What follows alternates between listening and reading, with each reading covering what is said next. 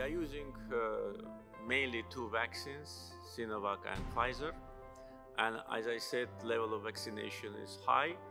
And this is, uh, of course, due to the state policy. At the same time, I'd like also to uh, mention that we are very happy to see that our population is very responsible and uh, vaccination is not forceful and we do not have any anti-vaccination campaigns or even any anti-vaccination trends. The people of Azerbaijan uh, realize the importance of vaccination and it makes our job much easier.